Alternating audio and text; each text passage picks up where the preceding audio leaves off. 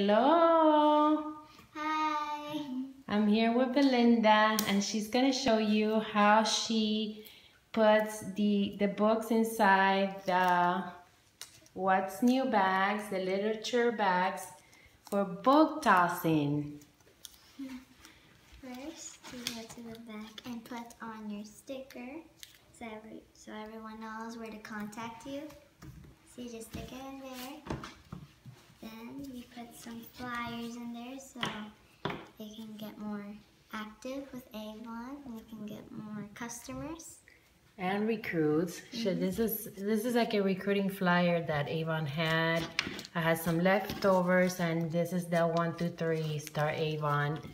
And a fundraising flyer. Those are those are my tips. Mm-hmm. Fundraising flyers, um, recruiting coupons, and a recruiting recru recruiting flyer, plus the book. And then we're using an expire books for book tossing. Look how simple she does it.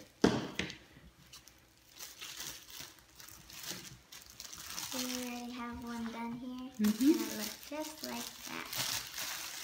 You just put it here.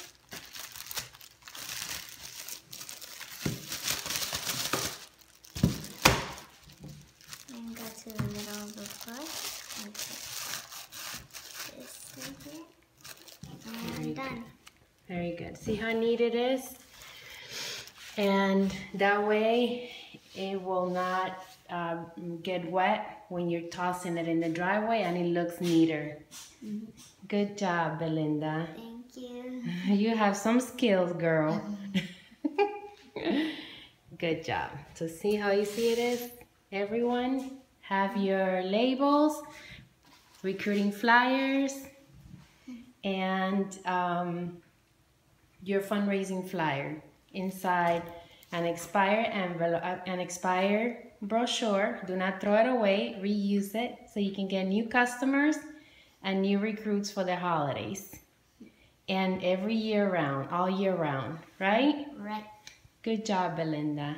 Thank you for doing the video. You're welcome. Bye.